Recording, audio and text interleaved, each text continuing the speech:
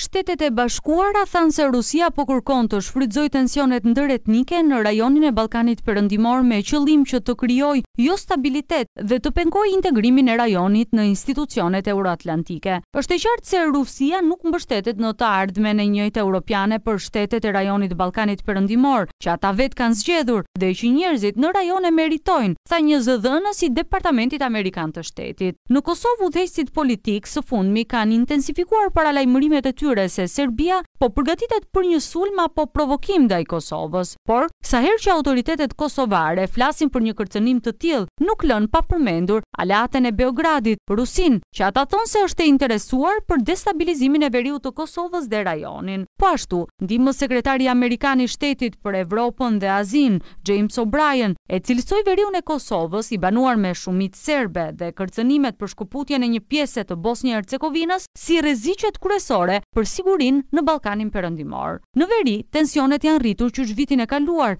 ndërkaq në Bosnje-Hercegovinë autoritetet në entitetin e Republikës Serpska kanë kërcënuar me shkëputje.